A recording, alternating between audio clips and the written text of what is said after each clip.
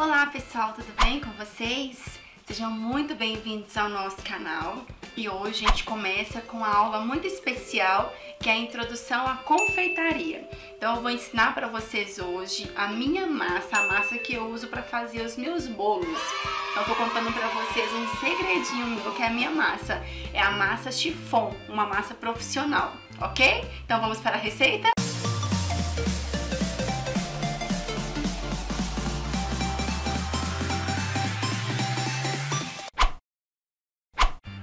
Então, gente, como é um segredinho meu que eu tô compartilhando com vocês, eu peço que, por favor, dê seu joinha nesse vídeo.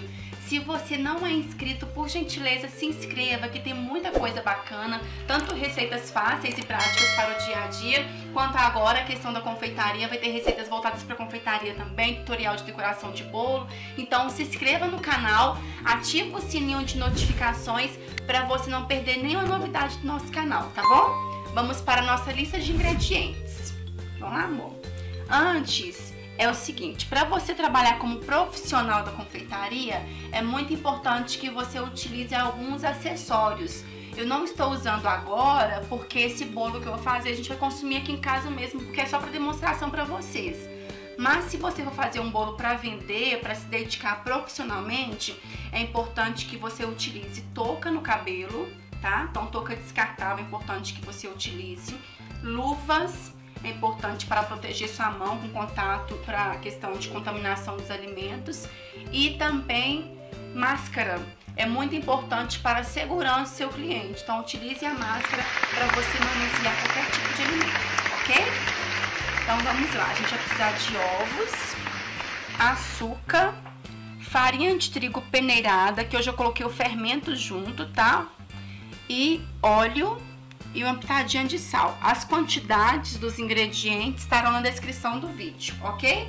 Então, primeiro nós vamos bater por 10 minutos os ovos com açúcar e a pitadinha de sal. Vamos lá? Primeira coisa que eu falar com vocês é a questão da forma. Essa massa que a gente vai fazer, essa receita, ela rende quatro formas de 15 centímetros. A gente não coloca para encher, porque para cortar fica mais complicado. Então, eu uso para fazer um bolo dois duas, formas, tá? É, para untar a forma, você tem duas opções. A primeira é você pegar um papel manteiga, então você coloca a forma em cima do rolo, traça a circunferência, depois corta. E aí você vai ter um disco, você pode colocar, pega aqui, amor, por favor, papel manteiga dentro da forma, e aí coloca a massa, depois que assar, você vai desenformar, retira o papel manteiga, vai sair facinho da forma. A segunda opção é a que eu atualmente uso, antigamente eu fazia com papel manteiga, só que depois que eu descobri essa segunda opção, eu acho bem mais prático. Então, quando você tiver condição, é bom investir. Quer investir em um Desmoldante. Desmoldante, eu esqueci o nome. Desmoldante. Então você é super fácil. É spray, você pega a forma, vem com o spray aqui e só dá um spray no fundo e pronto. Sua forma já está untada. Não precisa untar lateral, tá? A gente não unta lateral, só o fundo da forma, beleza? Eu não falei do leite, pessoal, porque ele tá aqui reservadinho, porque a gente vai usar ele quente, tá? Então usa leite também.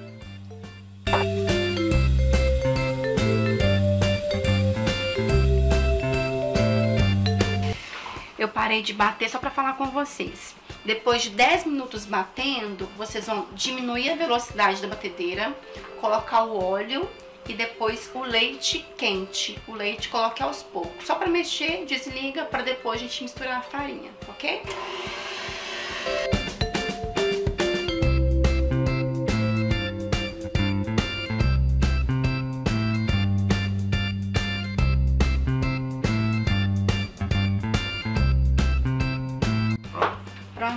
Misturamos o óleo e o leite. Não pode colocar o leite de uma vez, porque o leite tá quente. Se colocar de uma vez, vai cozinhar a sua massa, ok? Então, após fazer isso, nós vamos agora misturar a farinha com o fermento. Como eu disse, já estão juntos ali. Coloca metade. E aí tem um segredinho aqui para misturar. Porque essa massa, ela não pode perder essa leveza, ela tem que ficar aerada. Então você vai, olha, do meio para fora e aí dá uma mexida do meio para fora, faz isso aqui, para não perder o ar.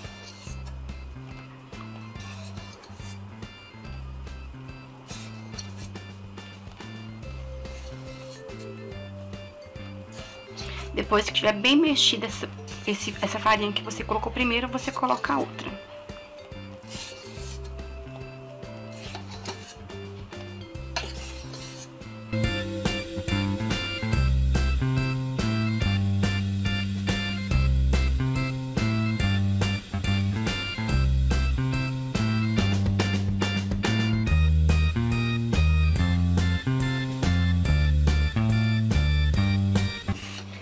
Essa parte, gente, é importante que vocês mexam ela bem delicadamente para não perder o ar. Tá vendo que a massa continua leve?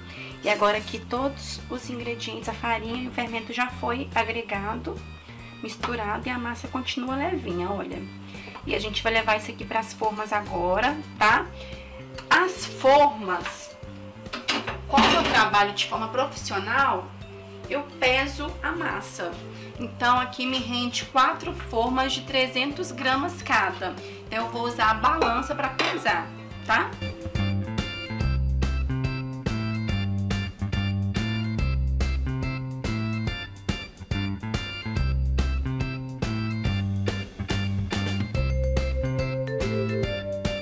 Qualidade dos seus ingredientes e o tamanho dos ovos interfere muito no peso.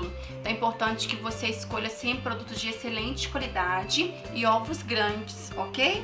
E aí esse peso vai variar. Então, por exemplo, os ovos não são sempre do mesmo tamanho. Então, varia quatro formas entre 280 e 300 gramas, beleza? Agora, a gente vai levar para assar em forno pré-aquecido a 160 graus, forno pré-aquecido, aquele forno que você liga uns 10 minutos antes de colocar para assar, a temperatura que você quer. Então, forno 160 graus por aproximadamente 40 minutos, ok? Gente, olha como ficou linda essa massa. Eu amo essa massa, ela fica super retinha, tá vendo? E a cor dela fica maravilhosa. Aqui eu esqueci de falar, essa forma ela é 15 de diâmetro e 10 de altura, ok? Mas se você, você pode pegar também essa mesma receita, ela serve para duas formas de 20 centímetros. E se você não tiver é, balança, uma dica para você, faz medindo com a concha Pega, por exemplo, se você vai usar duas formas de 20 centímetros, pega uma concha para uma forma, outra concha para outra, fazendo assim até terminar. Aí vai ter a mesma medida nas duas formas, ok? E aí, para desenformar é super fácil. Olha só, só passar a faca aqui em volta, porque já tá soltinho. E aí você pega e desenforma. Olha que linda que é essa massa. Ela é muito linda, né? E a gente vai usar ela para fazer bolos vou decorar um bolo com vocês com essa massa aí. Olha aqui, olha, super soltinha, ok? Essa aqui eu nem passei a faca, de tão soltinho que fica, ok? Então essa é a receita de hoje. Se você gostou, dá seu joinha pra gente, ajuda a gente na divulgação desse vídeo, compartilhando em todas as suas redes sociais com seus amigos. Se você não é inscrito, você é muito bem-vindo por aqui. Se inscreva e ative as notificações para você não ficar por fora de nada que acontece aqui no canal, tá bom? Tchauzinho, obrigada, Deus abençoe vocês, até a próxima.